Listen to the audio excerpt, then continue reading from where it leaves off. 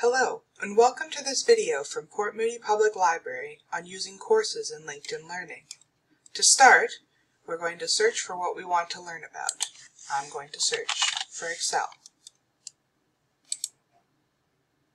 So to start here, I have searched for Microsoft Excel courses, and I'm going to select a course to go over the general features you will find in courses on LinkedIn Learning. Let's click Excel Essential Training.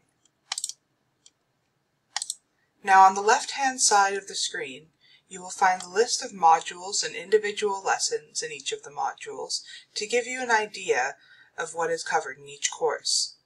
In general, there will be an introduction and videos for each of these modules, as well as a transcript of the video in text. Let's look at the transcript. The transcript will show you the text of what is spoken in the video. You can skip to different parts of the video by clicking on the text. You can also enable closed captioning in order to see the text on the screen in multiple languages.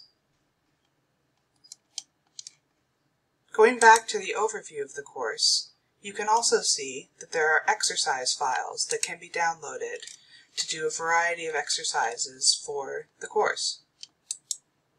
There can also be additional resources related to coursework that you may need to complete as part of the individual course.